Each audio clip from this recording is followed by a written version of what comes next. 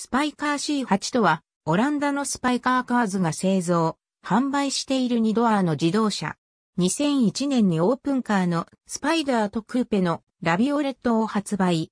1997年にスパイカーカーズによって復活したスパイカーブランドの最初の車種となった。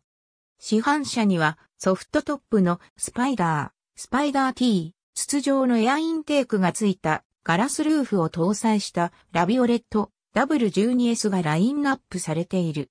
スパイダー T はスパイダーの高性能バージョン。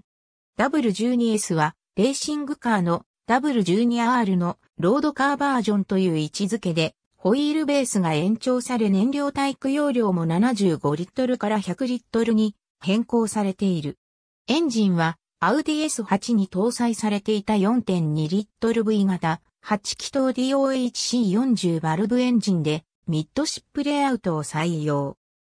ベーシックラインのスパイダーとラビオレットには 400PS の自然吸気仕様を積み最高速度時速 300km、スパイダー T には 525PS のツインターボ仕様を積み最高速度時速 320km、W12S には 400PS の自然吸気仕様と 600PS のツインターボ仕様が用意されそれぞれ最高速度は時速 300km、時速 345km となっている。トランスミッションは全車6速 MT である。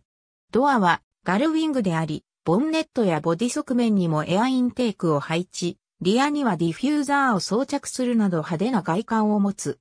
インテリアにはすべて本革が使用されるほか、クラシックカーのようなメーター配置、航空機のプロペラに似た4スポークのステアリングが特徴的である。2006年のルマンを走ったスパイダー GT2R オープンボディの外観は市販車とさほど変わりない。スパイカーカーズは2002年のルマン24時間レースに出場するため C8 をベースに BMW 製3.4リットル V8 エンジンを搭載した W12R を開発。まずはアメリカンルマンシリーズの初戦セブリング12時間レースに参戦したが、マシントラブルによるリタイアに終わった。その後、2002年のルマンに GT クラスで出場するも、リタイア。2003年には ST チームオレンジスパイカーが市販車と同じアウディ製4.0リットル V8 エンジンを積んだ W12R でルマンの GT クラスに参戦。クラス再開ながらも完走を果たした。2005年、新たにスパイダーをベースとしたレーシングカー、スパイダー GT2R を開発。450PS を発生するアウディ製3.8リットル V8 エンジンを搭載し、オープンボディにロールケージを装着した。同年のルマンの GT2 クラスにエントリーしたが、完走できなかった。また、この年から FIA GT 選手権にワークス参戦を開始。使用するマシンはスパイダー GT2R で第9選手会で初ポイントを獲得。第10戦ドバイではクラス2位に入った。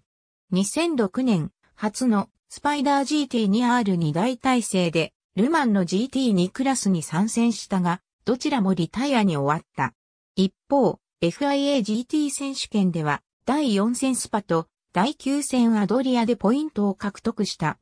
再びアムズに参戦。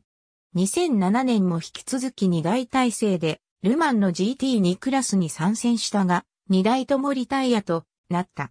引き続き、アムズには出場するが、FIA GT 選手権にはエントリーしていない。ありがとうございます。